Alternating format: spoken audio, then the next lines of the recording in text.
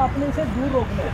ये ना कि आला पेड़ के अंदर होकर तो फिर आगे से इसको तो अपने से दूर दूर रोकना है। ओके यहाँ से